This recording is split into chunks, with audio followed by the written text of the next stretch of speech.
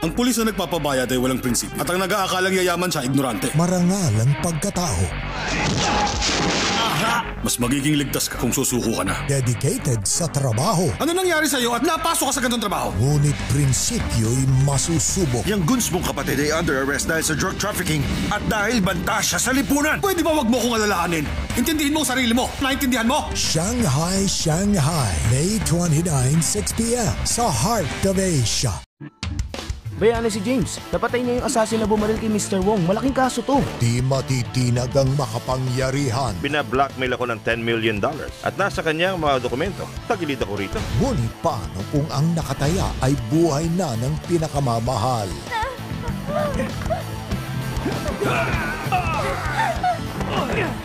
Tiger Cage 3 ngayong Sunday 8pm sa Asian Cinemix ng Heart of Asia.